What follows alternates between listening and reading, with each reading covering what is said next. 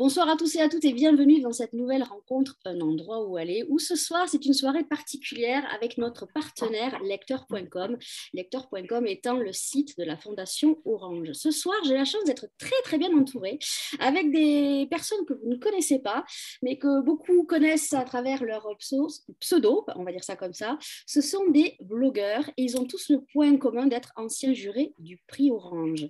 Alors ce soir, nous avons Nathalie avec un nom de blog imprononçable, je vais lui laisser prononcer. Bonsoir Nathalie.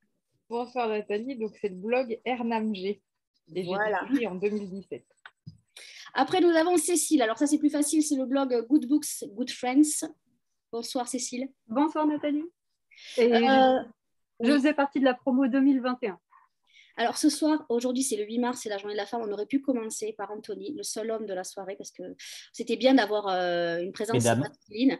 Donc euh, Anthony, c'est le blog Les livres de K79 et il y a aussi une chaîne YouTube Les livres de K79. Bonsoir. C'est ça. Voilà. Bonsoir à tous. Après, nous avons Marie, donc, qui, qui, est journaliste aussi et qui a le blog Trouble Bibliomane. Bonsoir Marie. Bonsoir. Juré quelle année? 2021. Parfait. Moi, c'était 2019. Euh, Lilia, le blog La Madeleine de Livres. Bonsoir Lilia. Bonsoir. Alors, promotion 2018. Nous avons l'incontournable Spirelito, l'écureuil.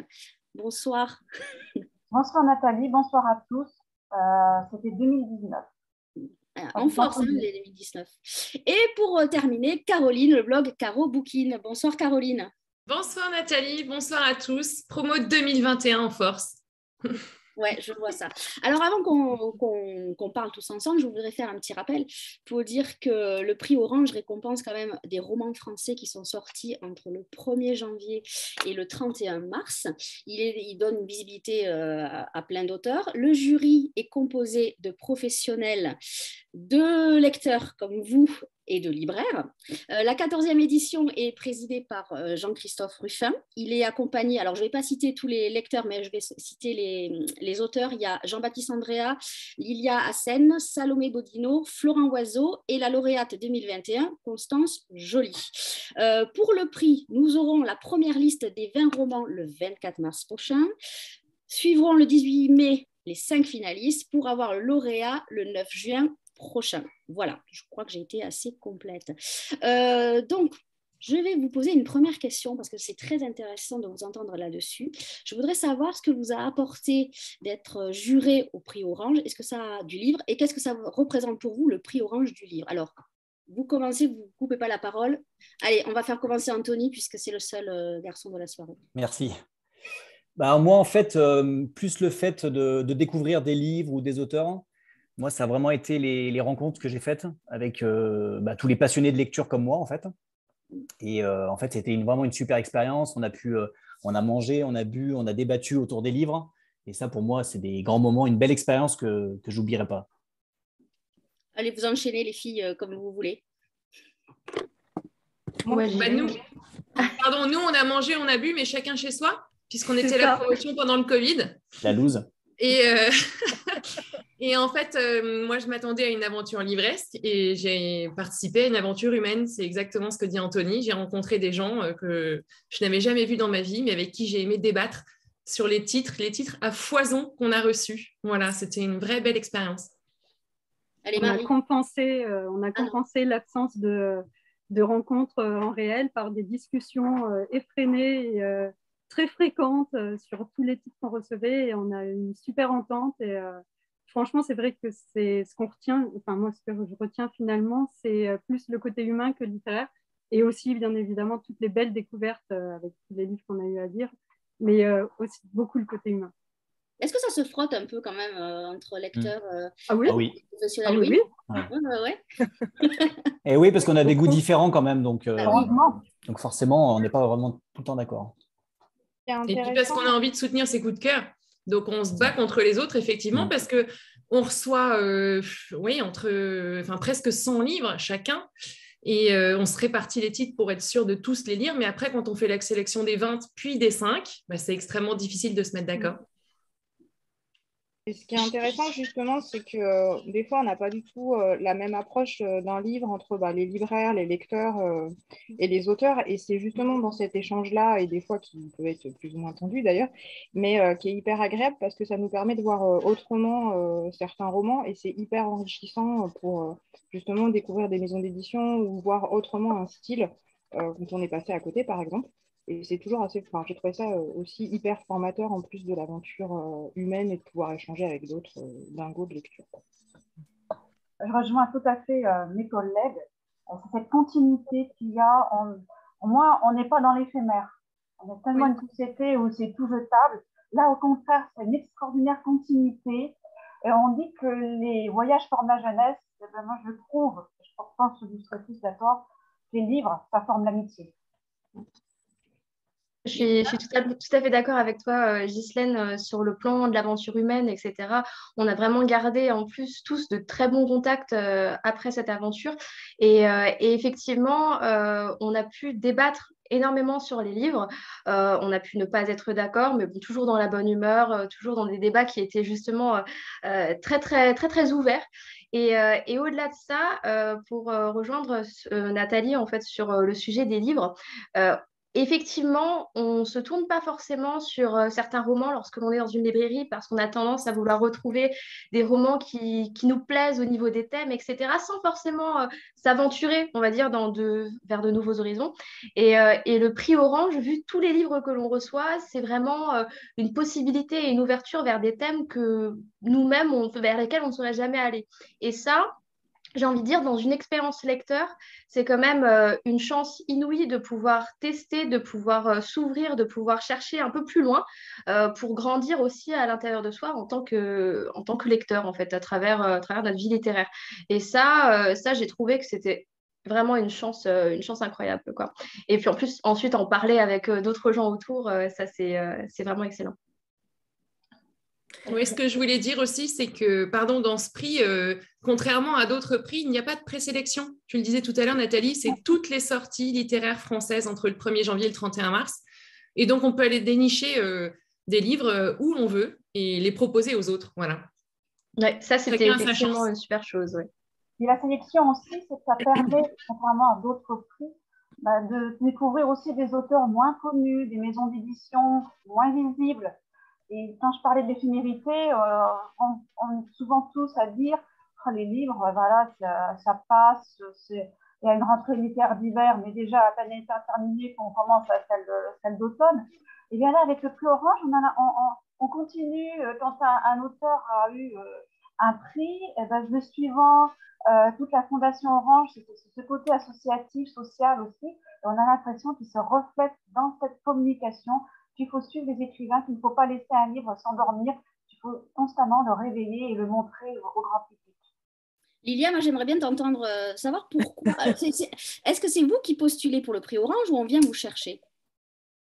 Alors, on, postule. Euh, je ne sais pas s'il y a eu la possibilité de, venir nous chercher, mais en tout cas, on il y a un appel à candidature et à nous de postuler. Euh, je, crois qu'il y a euh, beaucoup de personnes qui postulent. Donc, le jour où on a ce fameux appel ou ce fameux email nous disant euh, vous faites partie de la sélection, c'est une incroyable surprise. pour moi, c'était mes premiers mois en 2018, mes premiers mois de blog. Donc, j'ai été à la fois très, très contente de pouvoir faire partie de ce prix. et à la fois très surprise parce que je m'y attendais pas. J'avais postulé en me disant on verra bien et, et finalement, j'ai eu la chance d'être sélectionnée. Ce que je voulais rajouter par rapport à tous mes camarades qui sont présents ce soir et aussi à tous les autres jurys, c'est l'enrichissement qu'il en ressort parce qu'on nous donne un rôle dans le cadre d'un jury. c'est ce que disait Caroline, c'est-à-dire qu'on peut choisir et aller nous-mêmes, on reçoit des livres, mais on peut aller nous-mêmes euh, identifier, dénicher des, pépites et euh, les mettre en avant dans le cadre de ce prix. Donc c'est très formateur parce qu'à la fois, euh, ça nous ouvre l'esprit sur des livres qu'on n'aurait pas forcément choisi de prime abord, et en même temps de comment affiner le discours, comment faire en sorte d'argumenter et de pouvoir le mettre en avant, parce qu'on est tous assez tenaces, on a tous envie de défendre les nôtres, et c'est quelque chose d'assez fort parce qu'il y a des rebondissements, des gens qui ne pensaient pas promouvoir un livre qui finissent par se battre aussi pour ce livre. Donc, c'est vraiment très drôle comme expérience et très, très formateur. et puis c'est valorisant un peu comme, comme rôle bah aussi. Alors vous êtes là ce soir parce que vous allez nous, vous avez, je vous ai demandé de choisir euh, deux coups de cœur de cette rentrée. Donc vous allez tous passer et euh, j'ai envie qu'on commence par, euh, par Cécile. Tiens, alors Cécile, elle est, c'est quoi Cécile, sa formation, c'est son métier d'être blogueuse? Non, c'est pas un métier. non, pas du tout. Moi, je travaille dans la finance. voilà. Rien à voir. Mais la littérature est une vraie respiration, une passion et, et, vous le faites. Alors moi, je suis heureuse d'être avec vous ce soir parce que vous faites partie des blogueurs que je suis. J'en suis pas beaucoup, mais là ce soir, je vous suis tous. Donc, euh, je suis très contente de, vous avoir autour de moi. Je suis, j'ai envie de dire, je suis assez bien entourée parce que, chers amis lecteurs, allez, vous, on vous remettra vos, blogs sous la vidéo. Allez voir ce qu'ils écrivent parce que franchement, euh, ça vaut le coup. Voilà, je referme la parenthèse très vite et je laisse la parole à Cécile pour son premier coup de cœur. Donc, moi, j'ai choisi Héroïne de Tristan Saul aux éditions Le Cartanier. Alors, en fait, c'était le roman que j'attendais le plus de cette rentrée littéraire parce que l'an dernier, euh, en 2021, j'ai eu un énorme coup de cœur pour euh, Mathilde ne dit rien, qui nous avait été euh, envoyé d'ailleurs pour le prix Orange, sauf que en fait, le Cartanier étant un éditeur québécois, ça ça ne rentrait pas dans la sélection. Trop tard, moi je l'avais lu, j'avais eu un énorme coup de cœur. Et, et en fait, donc, j'attendais Héroïne et ça a été un coup de cœur renouvelé c'est-à-dire que euh, deuxième tome et pas de déception. Donc, en fait, c'est, euh, le deuxième tome des Chroniques de la Place Carrée. Donc, la Place Carrée, c'est une, place euh, fictionnelle, totalement imaginaire, mais qui ressemble tellement à ce qu'on peut connaître qu'en fait, on, se sent dedans. quand on lit le livre, on a l'impression d'y être. Et là, les habitants de la Place Carrée, dans Héroïne, ils sont en mars 2020 et comme nous, bah, ils vivent le confinement, la pandémie. Donc, le, récit se centre sur Laura, qui est aide-soignante aux urgences. Donc, on est en plein dans la, voilà, on est en plein dans la situation, la pandémie, le confinement. Donc, on sent tout le travail documentaire de l'auteur qui a été fait auprès des médecins, parce qu'on a vraiment l'impression d'y être. C'est euh, réaliste, c'est euh, c'est pas joyeux forcément, hein, mais, euh, mais c'est bien écrit. Et en parallèle, il y a aussi une autre intrigue au niveau d'un du trafic de drogue, parce qu'on n'y pense pas forcément, mais le trafic de drogue, il a pris un petit coup dans l'aile aussi avec la pandémie, hein. mmh. forcément. Donc il y a deux intrigues parallèles comme ça. Et euh, voilà, c'est bien écrit, c'est cinématographique, euh, c'est enlevé, il y a un rythme, il n'y a pas de temps mort. Et euh, je trouve qu'il y a une maîtrise en fait de, de la tension narrative qui fait qu'on le lit du début à la fin, en fait, on est accroché. Et, et le, dénouement, je vais évidemment pas en parler, le dénouement m'a laissé sans voix. Il est, euh, et je me suis dit, bah, voilà, waouh, une maîtrise. Quoi. C'est euh, maîtriser du début à la fin, c'est parfait. Est-ce que l'un d'entre vous l'a lu aussi, là, ici, ou pas du tout? Non, pas encore. Est-ce que Cécile vous a donné envie de le lire? Bien sûr. Elle, nous a intrigués. En tout cas, je vous le conseille. Et aussi, Mathilde ne dit rien. Les deux. Alors, ils peuvent se lire indépendamment. Hein. D'accord. On remettra les, je remettrai tout, on remettra sur le site un endroit où aller toutes les références des coups de cœur que vous allez donner ce soir et sous la vidéo sur la page Facebook également. Et j'ai une, une, petite question, je peux ou pas? Oui, bien sûr. Juste savoir si le fait de lire un livre sur le, confinement, est-ce que c'est pas un petit peu euh, non du oppressant? Tout. Enfin, non, du tout, du tout, parce que bah, déjà, je viens, il vient de sortir là maintenant, donc on, on est on a du recul dans le confinement. Mm. En fait, voilà, on a du recul, on a repris une vie normale. Euh, et, en fait, non, au contraire, j'ai eu l'impression, moi, de, le voir autrement que quand j'étais enfermée chez moi. Euh, et, là, j'ai vu autre chose. En fait, j'ai vu donc le quotidien de cette aide-soignante, ce qu'on pouvait plus ou moins imaginer. Mais là, on le ressent, c'est fou, en fait, on le ressent encore mieux que quand nous, on l'a vécu. D'accord.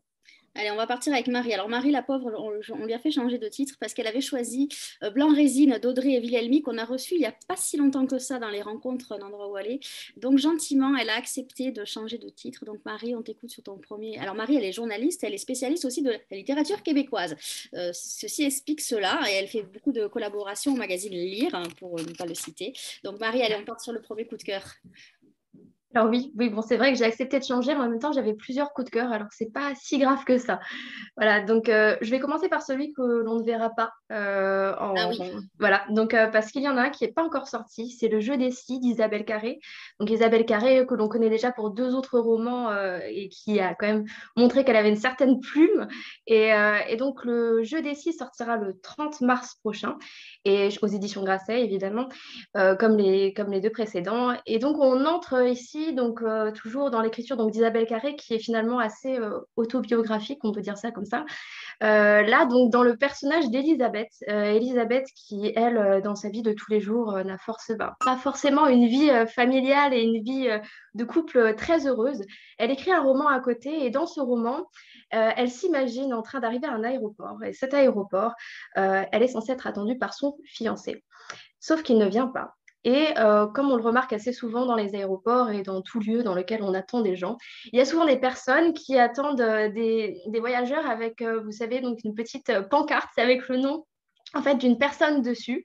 Et elle voit en face d'elle quelqu'un dont le nom sur cette pancarte s'appelle Emma Auster. Donc forcément, Emma Auster, on pense, voilà, Paul Auster, le, grand, le grand auteur. Et elle se dit, qui est cette personne? Cette personne ne vient pas. Et si je prenais sa place? Donc, et si j'allais vers euh, ce chauffeur et que je prenais la place euh, d'Emma Auster en me faisant passer pour elle, en changeant de vie et en coupant totalement du jour au lendemain avec cette vie qui ne me va pas. Et c'est ce qu'elle va décider de faire. Elle va rentrer dans ce taxi, je ne raconte pas la suite, mais euh, voilà, il va, se, il va se passer quelques petites péripéties qui font que lorsque l'on prend ben, finalement euh, la, la, voie inconnue et finalement une usurpation d'identité, ça ne se passe pas toujours comme prévu. Donc, euh, donc voilà, et moi personnellement, donc, j'ai adoré ce roman, autant pour l'écriture que pour la trame narrative qui, on va pas se mentir, est géniale du début à la fin. On est vraiment finalement happé par cette histoire. On se demande toujours ce qu'il va se passer il n'y a aucun temps mort, effectivement, un peu comme euh, pour le livre de Cécile. Euh, on est vraiment euh, dans un roman qui, qui, a une trame narrative assez rapide il n'y a pas énormément de personnages, mais euh, vraiment, on va droit au but et on a un côté presque cinématographique, d'ailleurs, qui, euh, qui finalement sort, euh, sort très peu Isabelle Carré de son domaine, puisqu'au départ, elle est, elle est effectivement une très bonne actrice. Donc, donc voilà, on retrouve tout ce côté assez cinématographique qui, qui plaît énormément. L'écriture est très fluide, elle ne manque absolument pas de style et c'est ça qui est intéressant aussi, c'est que voilà, on a, on a cette histoire qui est forcément pas au départ extrêmement originale dans la chose mais euh, qui nous entraîne euh, et, qui le fait avec un style euh, à couper le souffle. Donc, donc voilà.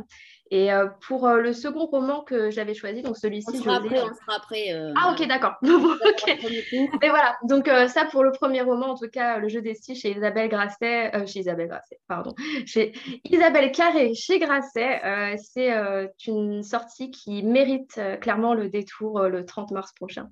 Parfait. Anthony, allez, on va enchaîner avec Anthony. Alors, Anthony, il est commercial, et puis, donc voilà, la, littérature, c'est sa passion. Il est spécialiste, on peut dire ça, du polar ou pas? Un peu, peut-être pas spécialiste, mais oui, c'est, disons, c'est ce que je lis le plus, quoi. Voilà. Même si j'aime bien varier, varier mes lectures, c'est pour ça que je suis là aussi. Hein. Mais allez, allez, le voir parce qu'il a lancé une chaîne YouTube qui s'appelle Les livres euh, de K79 et c'est assez intéressant et bluffant, j'ai envie de dire. Allez, on part sur le premier coup de cœur, Anthony. Alors moi, mon premier euh, coup de cœur, il s'intitule Le blues des phalènes de Valentine Imhoff. Donc c'est aux éditions du Rouergue. Donc en fait, l'histoire se situe euh, dans les années 1910-1930 aux États-Unis. Et en fait, au cœur du roman, on assiste à un événement que je ne connaissais pas d'ailleurs, j'avais jamais entendu parler. C'est l'explosion qui a eu lieu à Halifax en 1917 euh, suite à la collision de deux bateaux qui étaient remplis d'explosifs. Et en fait, ça a ravagé euh, bah, quasiment toute la ville. Il y a eu 2000 euh, morts.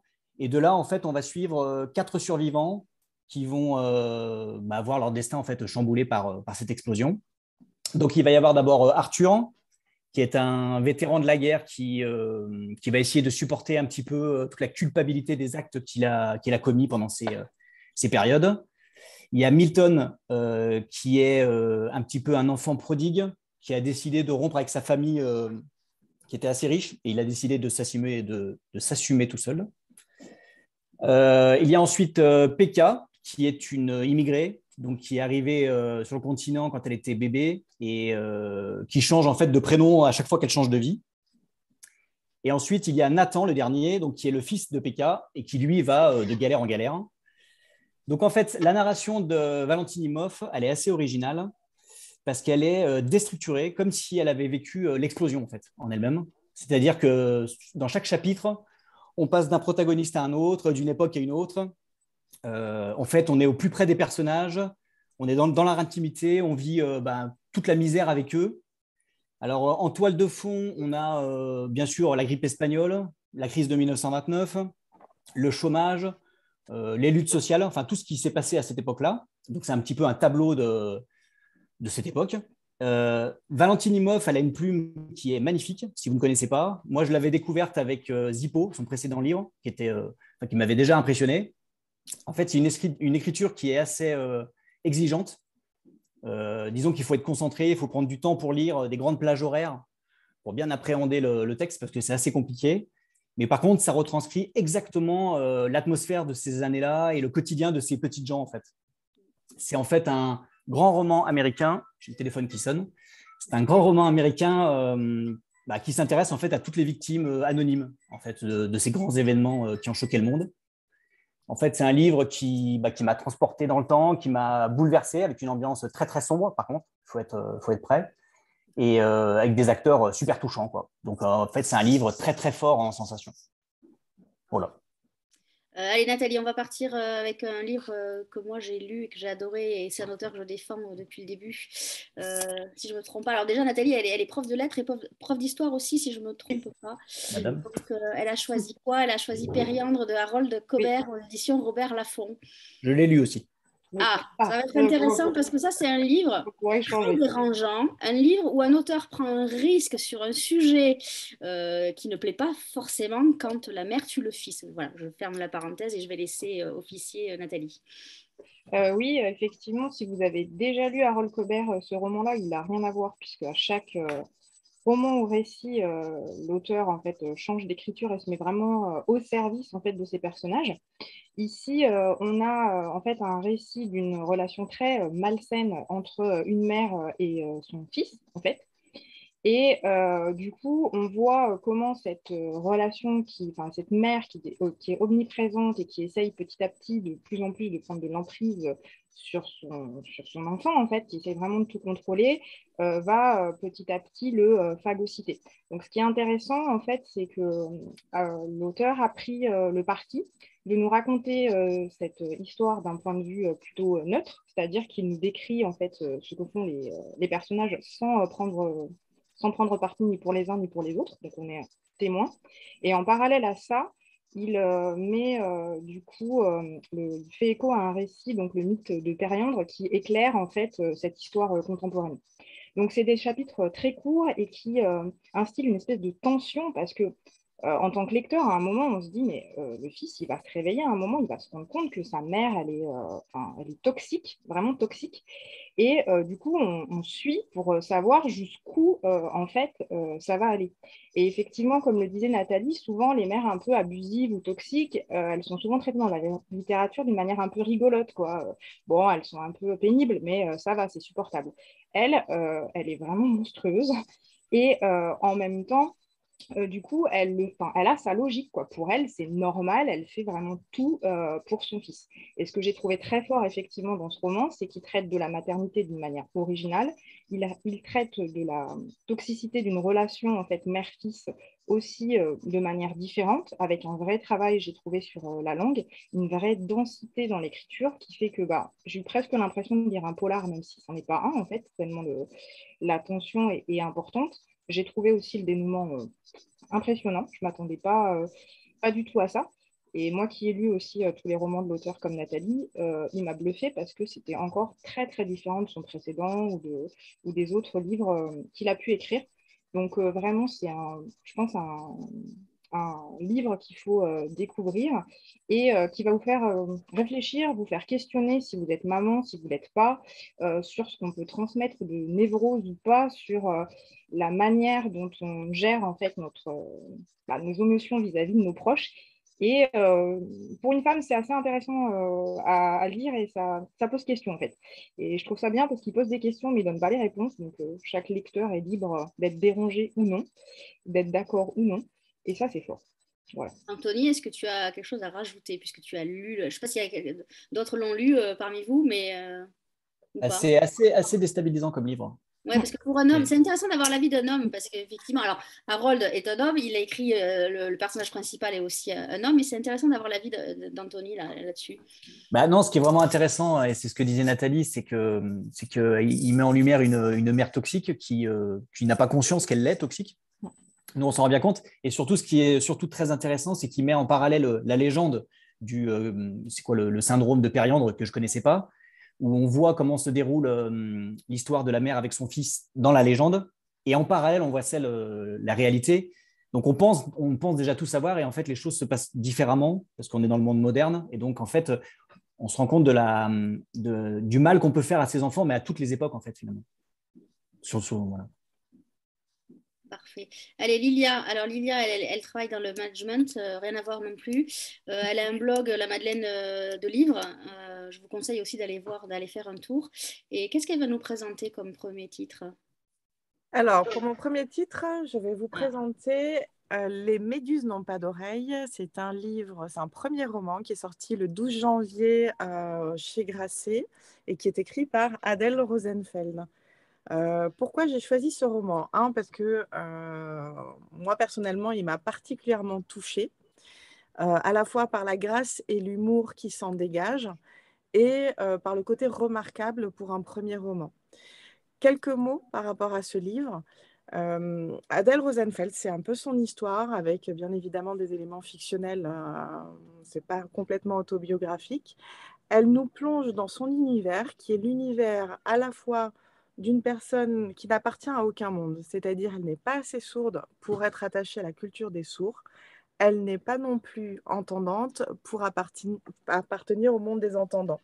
Et elle se retrouve un jour dans un cabinet médical à se rendre compte qu'elle perd encore plus Louis et qu'elle a un choix important à, faire pour savoir comment elle peut faire évoluer euh, sa capacité à, à échanger, à, j'ai envie de dire, à dialoguer avec les autres et à pouvoir soit entendre, soit trouver les moyens en fait de, d'échanger avec le monde extérieur. Et elle nous raconte, elle nous plonge, ce qui est assez beau, c'est qu'elle nous plonge, déjà c'est que c'est son propre univers et elle a une capacité, je pense, dans l'écriture à nous euh, décrire des événements que personne n'ayant pas vécu ça peut le faire. Donc on est quand même assez bluffé par ce, cette euh, capacité à nous plonger dans un univers qu'on maîtrise mal. Elle parle de ce qu'on appelle un peu les handicaps invisibles, ceux qui ne sont pas tout à fait légitimes, mais qui restent quand même des handicaps. Et euh, elle nous décrit une, personnalité assez attachante d'une femme euh, qui déborde d'imagination, qui se raccroche beaucoup à l'humour et qui nous fait vivre son quotidien dans cette période de vie où elle doit faire un choix et un choix qui n'est pas simple. Je vous en dis pas plus sur le choix parce que c'est un petit peu le fil conducteur, mais c'est un roman euh, qui vous happe du début et vous avez besoin de lire jusqu'au bout pour, euh, pour vous rendre compte de ce livre et en refermant les pages, vous dites waouh et c'est un premier roman. Voilà, je vous le recommande, il est euh, vraiment fabuleux je suis d'accord. Je crois qu'il y en a plein qui sont contents que tu aies présenté ce livre ce soir. Alors, il y en a une qui est en train de le lire, donc on ne va pas lui spoiler, on ne va rien lui, lui, lui dévoiler. Mais euh, amis lecteurs, euh, vraiment aller en librairie, euh, vous tournez vers ce livre parce que c'est assez exceptionnel, justement. j'ai envie de dire, il est sonore. Il est sonore, mais pas, pas sonore comme on pense. Il est, il est vraiment bien fait. Oui. Elle arrive à, à, retranscrire les silences. En fait, moi, ce qui m'a fascinée, c'est qu'elle arrive à, à retranscrire sa surdité et les silences et ça, j'avais jamais euh, ressenti ça en lisant. C'est-à-dire qu'on a vraiment l'impression d'être dans sa tête et à montrer comment, à travers les mots, le pouvoir des mots, de son imagination, elle compense ses silences, elle se réintègre ou pas. Et son questionnement identitaire est. Enfin, moi, il, m'habite depuis que je l'ai lu, depuis janvier, et il m'a toujours pas quitté. Bon, c'est tentant alors. On ne peut pas rester indifférent à cette lecture. Et c'est vrai que pour un premier roman, l'écriture est assez remarquable. Je, je le souligne aussi. Ouais, c'est très bon il, il, est assez remarquable et quelle que soit euh, la situation dans laquelle on est, qu'on soit euh, touché de près ou, ou pas par euh, l'handicap, il résonne de façon très forte et il nous raccroche à des, à des choses que l'on a vécues. Euh, soit par nous-mêmes, soit par nos proches. Et ce qui est assez fabuleux, c'est qu'il n'y a aucun pathos, c'est-à-dire qu'elle le dit avec vraiment beaucoup d'humour, beaucoup de grâce. Il n'y a aucun moment où il y a du drame.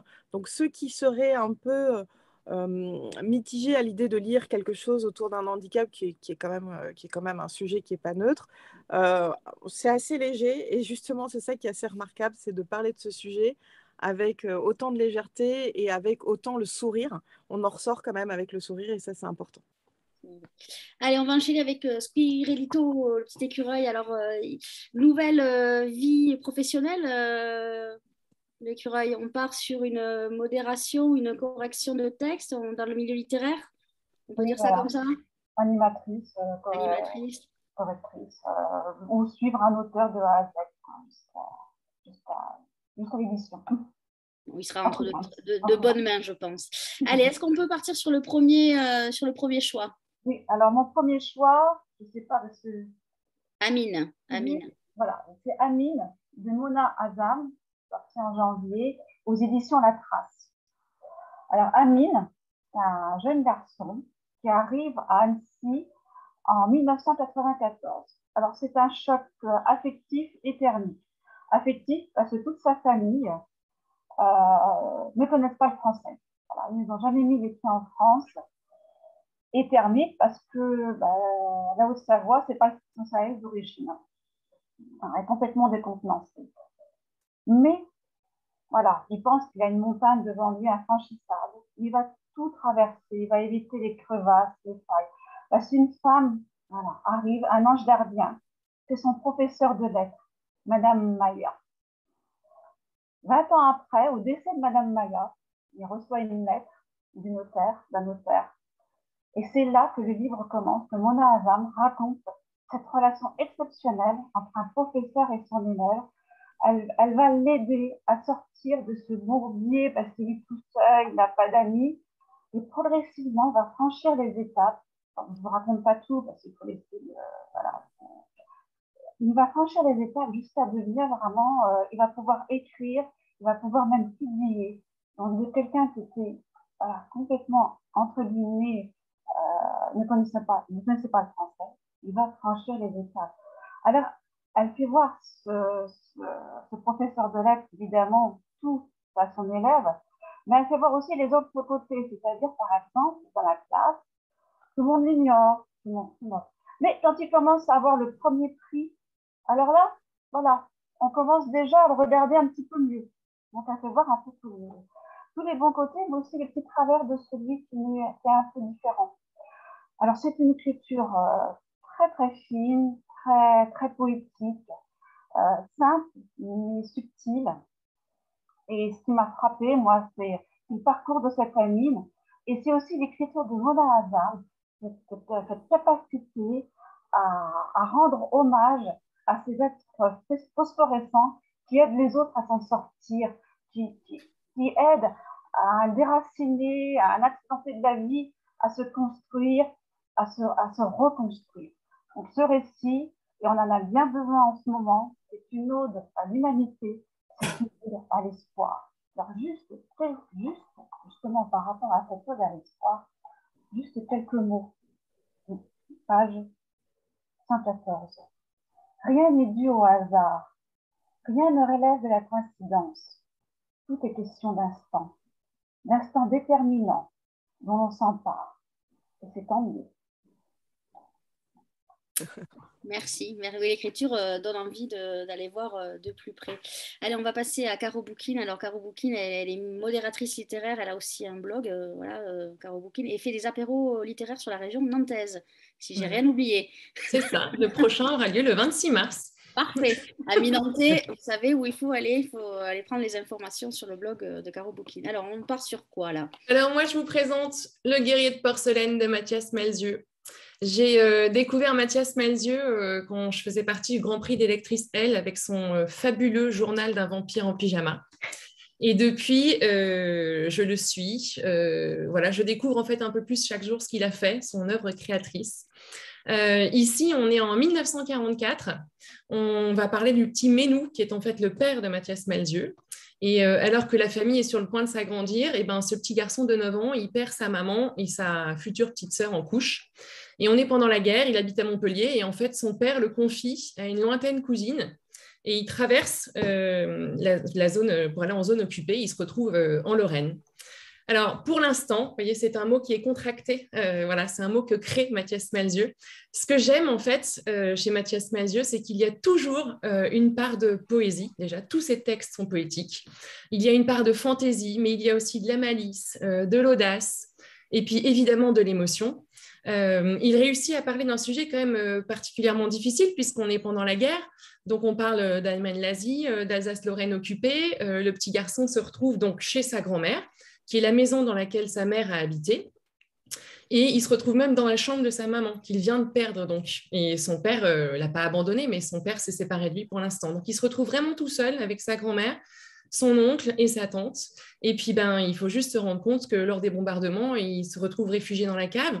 Alors, il y a beaucoup de choses qu'il n'a pas le droit de faire. Il est très contraint, mais il y a une chose qu'il peut faire, c'est qu'il écrit à sa maman dans un cahier. En fait, tous les jours, il lui parle et il lui écrit parce que le fait d'être immergé dans son univers, bah, ça lui fait beaucoup penser à elle.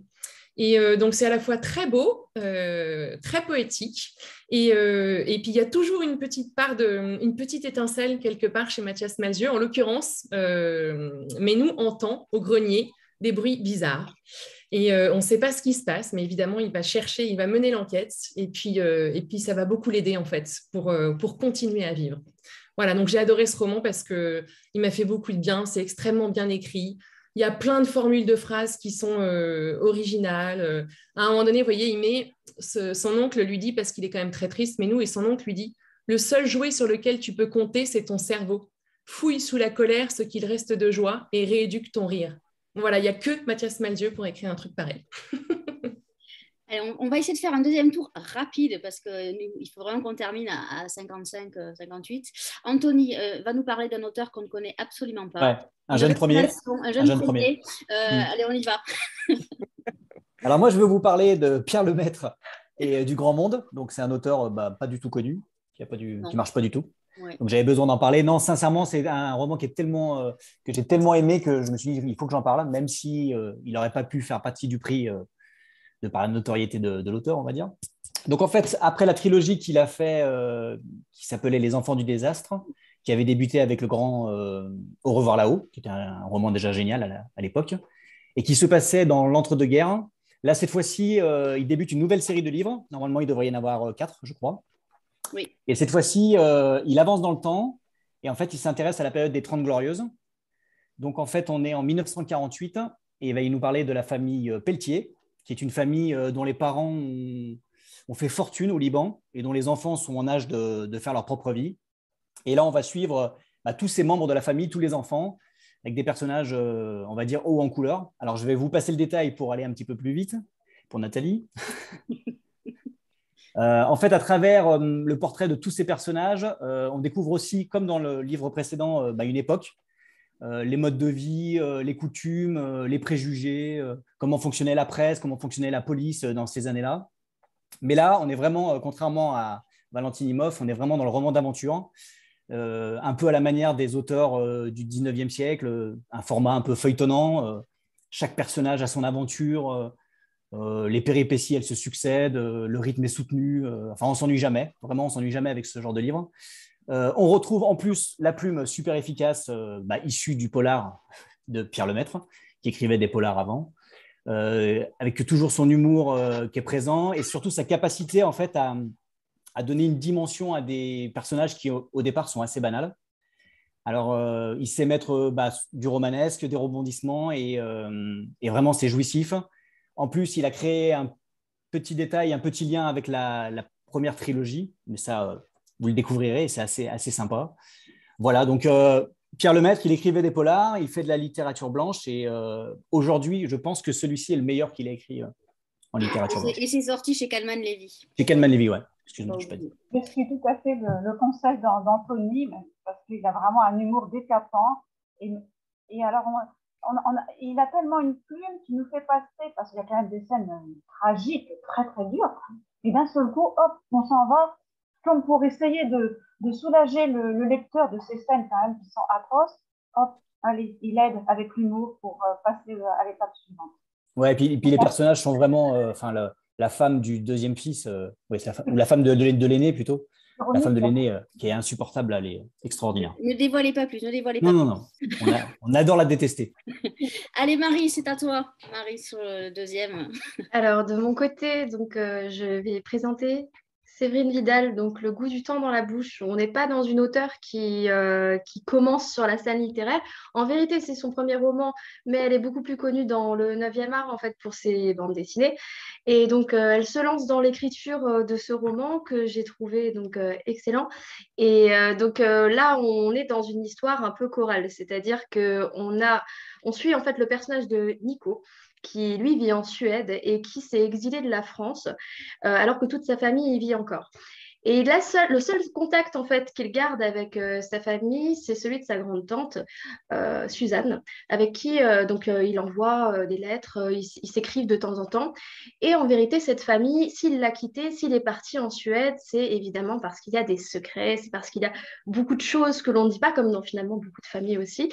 et donc on va avoir, quand je parle de roman choral, on va avoir donc euh, finalement euh, la vie de la vie la vie et la vie en fait de Nico euh, donc en Suède, mais également donc toute la vie euh, du reste de la famille en France, avec tout un retour en arrière, voilà, dans, dans, le passé. C'est vraiment un, roman qui a un espace-temps différent en fonction des chapitres, et, donc on va revenir sur des faits qui se sont passés il y a 50 ans en arrière, donc avec tous les ancêtres qui y passent.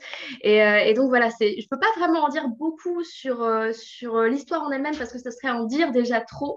Mais euh, je vous conseille énormément de lire parce que on a vraiment, si on aime les romans, les chroniques familiales, euh, si on aime vraiment les secrets qui se dévoilent au fur et à mesure, les affreux du passé, etc., honnêtement, c'est un bon roman.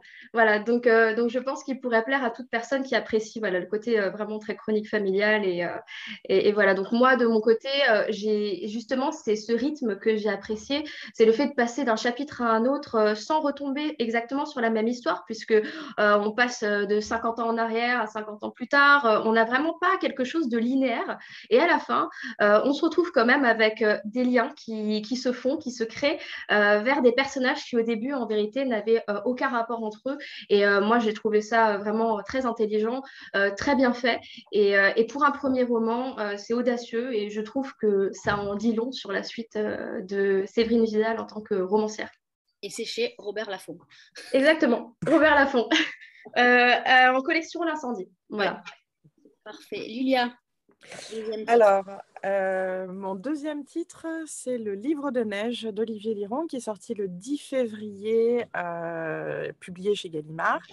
Donc, euh, pourquoi c'est un coup de cœur? C'est un coup de cœur pour plusieurs raisons, à la fois pour l'écriture, pour l'originalité avec laquelle Olivier Liron fait une déclaration d'amour à sa mère, euh, il décide euh, de faire de sa mère une héroïne dans une fiction, une fiction qui est empruntée bien évidemment de la vie de sa maman, et sur lequel il dessine une fresque assez euh, captivante et dynamique du moment de sa naissance, c'est-à-dire en 1954 à Madrid, jusqu'à son évolution à nos jours en France. Donc avec une plume qu'on connaît déjà et qu'on retrouve avec grand plaisir, Olivier euh, Liron, euh, de façon très gracieuse, beaucoup d'élégance, beaucoup de poésie, nous décrit sa maman, une petite jeune fille euh, qui commence à vivre à Madrid et qui surtout a, quelque chose de très particulier, c'est qu'elle est pleine de vie. Elle a cet instinct de survie et à la fois cette joie de vivre qui va lui donner tout au long de sa vie ce côté très accrocheur, très très marqué qui va, euh, qui va aussi beaucoup euh, influencer euh, Olivier Liron par la suite.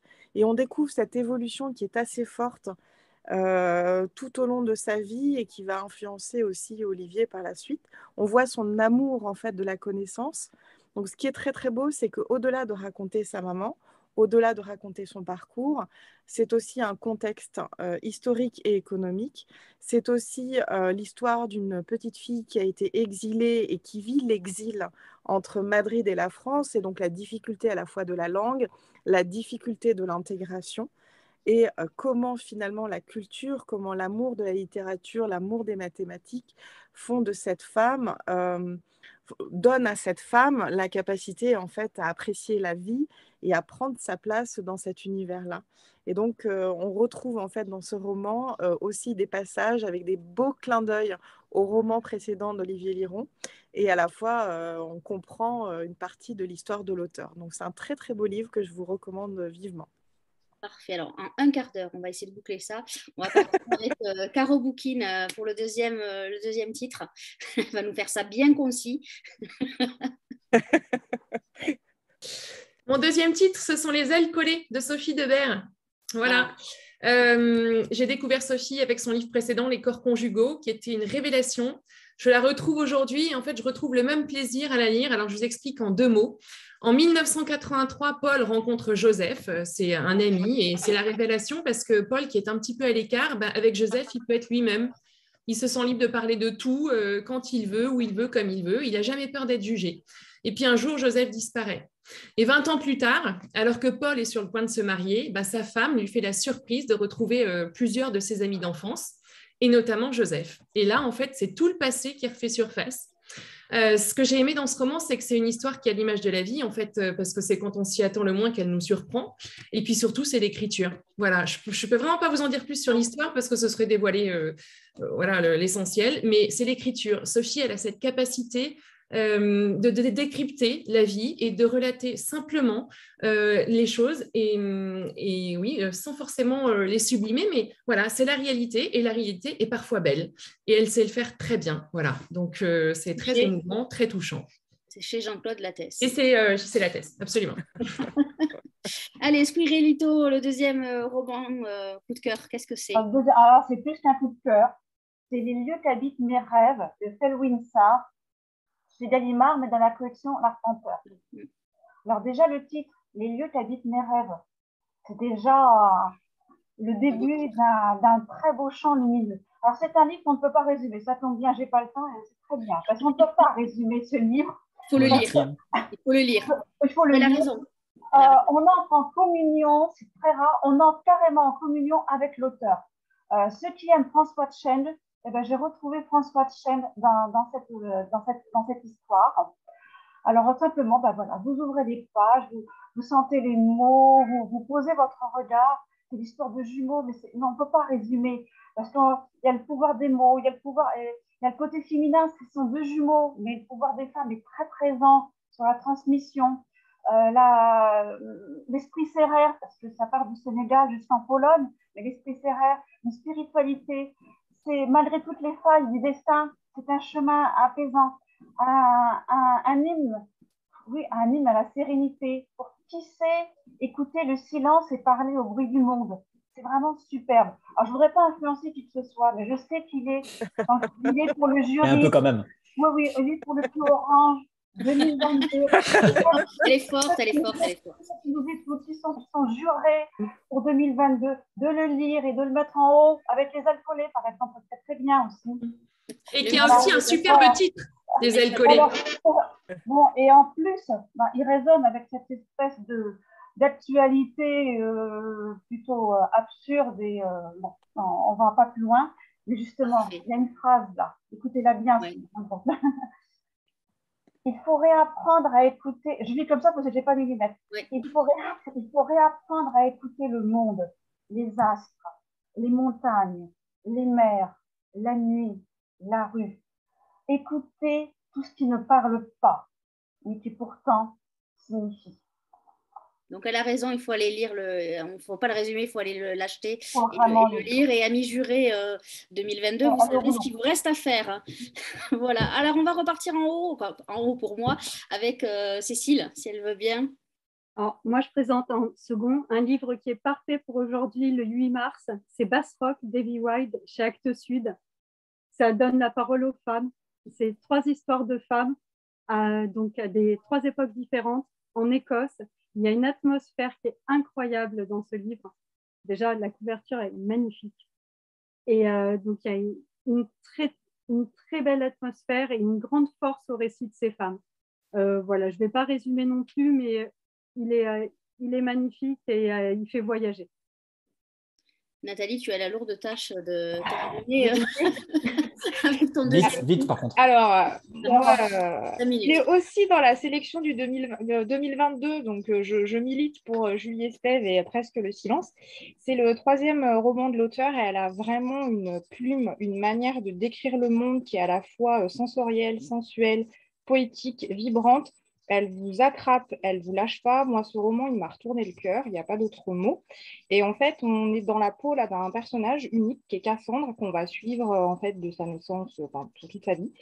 Et euh, Cassandre, en fait, le problème, c'est quand elle était toute jeune, il y a un voyant qui lui a fait sept prophéties, et elle va euh, en fait plus ou moins vivre avec cette espèce de d'épée de Damoclès et tout faire pour éviter que ces prophéties se réalisent. Et pendant donc tout le roman. Ce que j'ai trouvé magnifique, c'est une belle ode à la maternité, à la difficulté aussi d'accepter des fois de perdre les gens qu'on aime, de perdre ses proches. Ça a une atmosphère, enfin, il y a une espèce de peur aussi, d'anxiété qui euh, est générée par le fait qu'on est dans une époque, on ne sait pas trop si c'est l'époque actuelle ou un peu futuriste, parce qu'on a certains passages qui font euh, comme écho à des espèces de plaies d'Égypte. Alors on ne sait pas si en fait c'est vraiment la réalité ou si c'est ce que voit le personnage à force d'être obsédé par ses, par ses prophéties. Et c'est vraiment un très très beau euh, roman qui vous, euh, qui vous embarque, on a envie de suivre, de savoir si justement Cassandre va se libérer de ses peurs. Il y a de très beaux passages qui sont très agréables, notamment quand elle est à Minorque. Il y a un très bel amour aussi pour son fils. Et en même temps, elle aborde plein de sujets. Et ce que je, trouve très très beau, c'est que ça change des livres habituels. Ça peut peut-être déranger certains parce qu'effectivement, des fois, c'est un peu rude, c'est âpre, mais comme la vie, on a cette sensation d'éco-anxiété aussi qui est très forte et en même temps, elle met magnifiquement la nature en valeur. On a vraiment par moments l'impression d'être au soleil avec elle, un moment d'endroit préservé. Et euh, la fin est splendide et poétique. Et euh, vraiment, s'il y a une auteure à découvrir euh, sur ces trois romans, à chaque fois, c'est de plus en plus fort, et de mieux en mieux. Et je trouve que c'est son meilleur roman depuis le début. Et j'espère qu'il sera aussi dans la sélection orange. C'est Julie Estelle aux éditions Stock. Parce que vous oubliez souvent les éditeurs, mesdames. Oui, oui, oui, désolé. quand même. Désolé. Euh, en tout cas, vous avez été très bien. Alors, j'imagine que tous les livres que vous avez présentés ce soir sont sur vos chroniques, sur vos blogs respectifs. Donc, j'engage nos amis euh, spectateurs, lecteurs euh, à aller visiter soit aussi vos avis sur lecteur.com, parce que je rappelle que lecteur.com est une grosse communauté de lecteurs et qui est très importante et qui est notre partenaire chéri. donc, allez voir les avis de toutes ces personnes qui vous ont parlé ce soir. Vous voyez qu'ils sont passionnés de, littérature. C'est toujours un plaisir de les entendre. C'est bien, vous avez fait l'exercice concis. Donc, euh, j'espère que je ne vous ai pas trop pressé. En tout cas, c'était bien de vous avoir. On a euh, même le temps de faire un troisième coup de cœur. Ouais. et, euh, et, là, vous les mettriez, vous, sur, si vous étiez juré cette année, vous les, vous les mettriez sur la liste en haut pour le. Bon, on a bien compris, Ghislaine, que oui. Mais les autres, est-ce que ah vous oui. les Ah oui, forcément. Ah oui, ils y sont. Moi, les miens, ils ne rentrent pas, ils ne sont pas. Ah ben oui, ah alors là, elle est hors. On rappelle. les gens qui font pas comme les autres. Voilà, Cécile, euh, on rappelle que le, au prix Orange, ce sont des romans français. Est-ce que le, roman francophone ne rentre pas du coup? Alors non, alors en fait, euh, Héroïne, Héroïne c'est un auteur français, mais un éditeur québécois, donc ça ne rentre pas. Voilà. Ça avait fait débat l'année dernière. Mais du coup, je tiens, à préciser, euh, je tiens à préciser quand même que, en fait, si la francophonie rentre dedans, mais à condition que ce soit un éditeur français. C'est la raison pour laquelle Blanc Résine euh, fait partie aussi d'ailleurs de la, de la sélection. Euh, Blanc Résine d'Audrey Villémy, qui est donc une auteure québécoise, mais voilà, elle est éditée chez Grasset, donc elle a le droit de passage. C'est l'éditeur qui fait foi. Et il y, a, il y, a quand même une, une particularité, c'est pour les dom-tom qui sont aussi, qui peuvent aussi rentrer dans la sélection ils sont parfaits, ces membres du jury. Euh, là, euh, ils sont euh, plus au courant que moi. D'ailleurs, c'est normal. Hein. voilà, en tout cas, est-ce que ça vous donne envie de, de repostuler, je sais pas, dans deux ans, dans trois ans pour le prix Orange ou... Je crois qu'on ne peut pas, non On n'a pas le droit. On n'a pas le droit. Il va falloir changer ce règlement, là, si Orange nous entend. mais attention, il y a quand même un comité des anciens. Oui. Maintenant, progressivement, des choses peuvent fondre grâce à, notre chef d'orchestre Françoise Fernandez.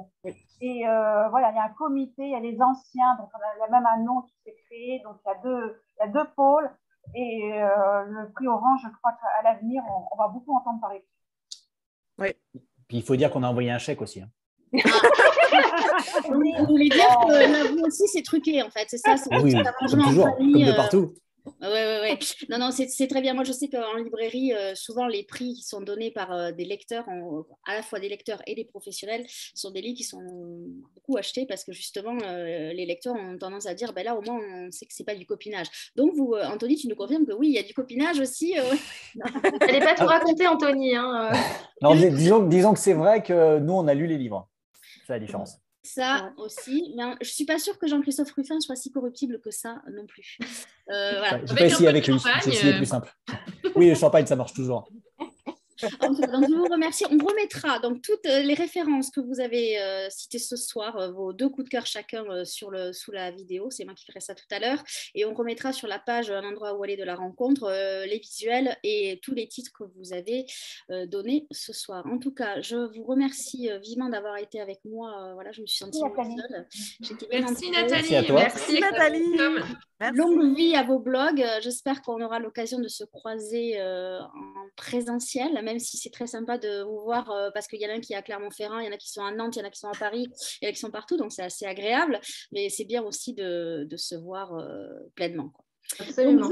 je, vous souhaite une, belle soirée et puis euh, à très vite.